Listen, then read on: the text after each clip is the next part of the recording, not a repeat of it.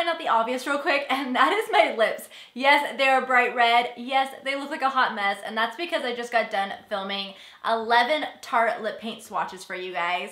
So they're a little sore and a little messy looking right now, and that's just because I just got done filming those lip swatches, and let me tell you, rip to my lips. So before we get into this review and lip swatches, if you are brand new to my channel, hello, welcome. Feel free to subscribe right here, or if you're on mobile device, scroll down a little bit. There'll be a little red subscribe button. You just click it and that way you get notified for future videos. So now let's just go ahead and get into this review and lip swatches. Alright, so first off, I have 11 shades of the Tarte lip paints, and there are a total of 14 in the collection, so I am actually missing three.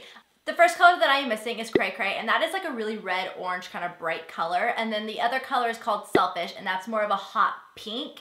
And then the third color is called Man Bun, and that one is more of a burgundy red. But I have the other 11 shades right here. And the Tarte lip paints retail for $20 and you can get these at Sephora, Ulta, or even TarteCosmetics.com. And also Sephora has one exclusive shade to only that Sephora carries and that is called FOMO. So I will show that swatch in this video, but you can only get FOMO if you are VIB Rouge, unfortunately. Alright, so now just to give you guys my quick little review of these lip paints. These lip paints, I have noticed that they have like a love-hate relationship here online from what I've been seeing of the reviews. But I'm to go ahead and tell you guys my thoughts on these. And first off, I know everyone always asks me about what the smell of them are and they straight up smell like menthol. So they smell like mint, so they smell really good. They leave a cooling sensation on the lips, so it's kind of refreshing. So that is one little plus about these. They have a very unique formula to them that kind of leave a satin finish, so they're very smooth and it truly does leave a satin finish. They don't dry down to completely matte. So don't expect to be getting extremely matte lip color from these. They kind of dry down to more of a satin finish that has a little bit of a sheen to it, but it feels so smooth on the lips. There are a few cons to these and the cons are that some of the shades, they tend to settle into those fine lines, which is why I really recommend wearing a lip liner with these. Also to keep them from bleeding out, but also just to keep them from settling into any fine lines. So I say line your whole entire lips and fill them in with the lip liner and then put these on top of it to kind of prevent that from happening. Also, another bummer about these is that these transfer really easily. Because they don't dry down completely, they can transfer to your teeth really easily or they can transfer to anything else super easily as well. So these Tarte lip paints can last from anywhere from one to two hours on the lips, depending on if you're eating or drinking. If you're eating or drinking, they're gonna wear off really fast, but if you're not doing any of that, they do stay on for quite a while. And a plus to these is that you can actually reapply them extremely easily. You usually have to worry about reapplying a liquid lipstick because sometimes it can get really like cakey and crumbly and it just gets really ucky if you try to reapply liquid lipsticks. These ones are actually really good to reapply and easy to reapply as well. And they're not gonna cake up too much and they're not gonna crumble as much as other liquid lipsticks are. So for me, I actually do enjoy these liquid lipsticks because I enjoy that they're so different than other liquid lipsticks that I have tried. They have a really nice, smooth finish to them that's comfortable to wear, so I actually really do like them. So these two shades are my favorite, and the first one is called Namaste, which is a great perfect nude. I love it. And the other color is called TBT. So I love these. These are your just like classic nudes, kind of mauve shade over here. But, but these two shades I definitely recommend because they are lighter so you don't really have to worry about them transferring too easily and being able to see them that much on the teeth that they do transfer. So I actually really do like these. All right, so now let's just go ahead and get into the lip swatches.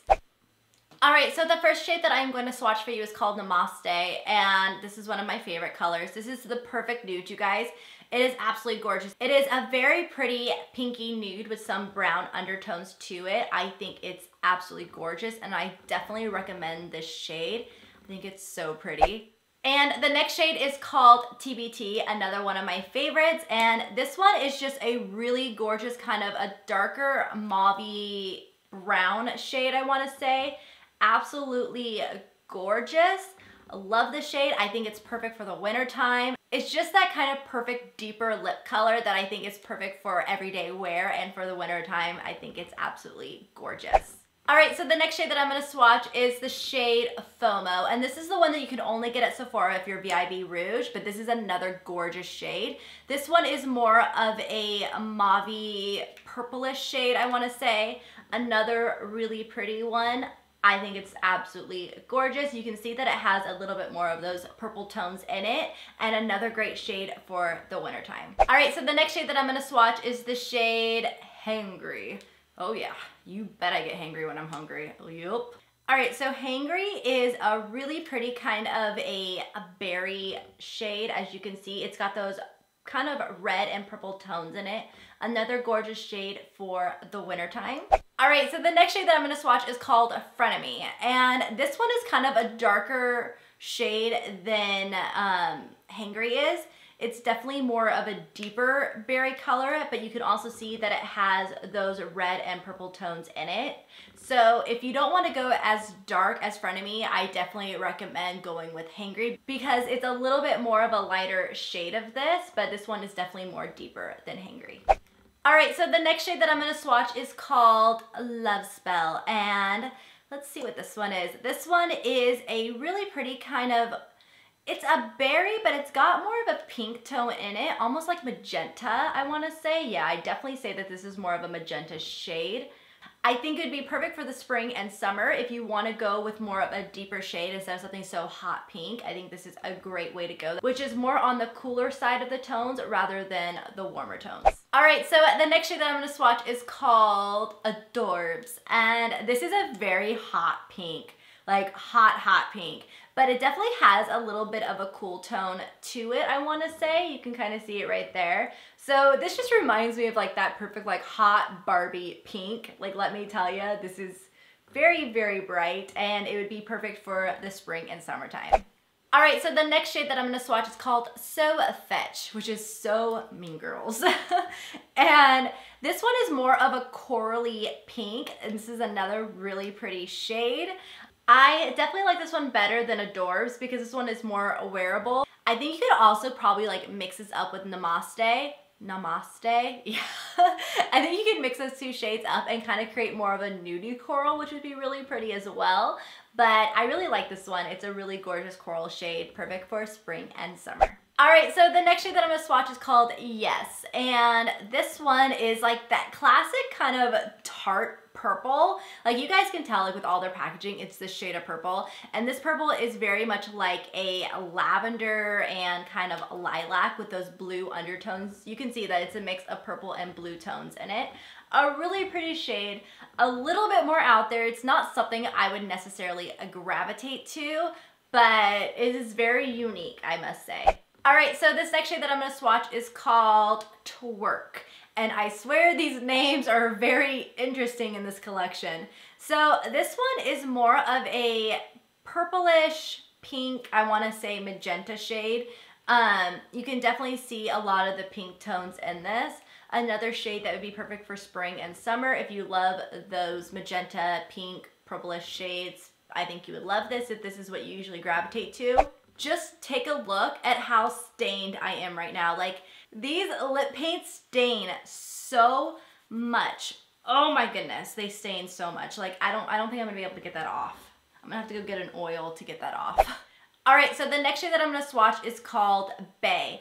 And I actually really like this one. I think this is probably one of my favorite darker shades in the collection. And this is just like your perfect red. I think this is a gorgeous, cool toned, kind of burgundy red really pretty. It's got those blue tones in it, which I don't know if those are gonna catch up on camera as they are in person because you're really just picking up all that stained pinkness that I have going on right there. Like it's intense. So yeah, I think this is a gorgeous shade. This is one of my favorite darker shades in the collection. I really love this red. I think this is perfect.